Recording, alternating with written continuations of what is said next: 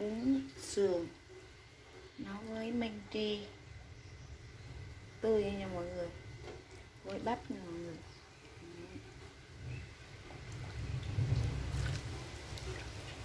Măng tri nè.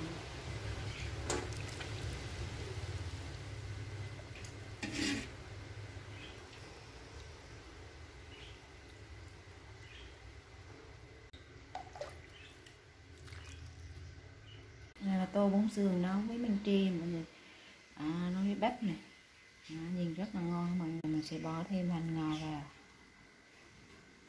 À, hấp dẫn không mọi người. Rất là ngon luôn. Mời mọi người dùng trưa nha. À, ngon hả mọi người?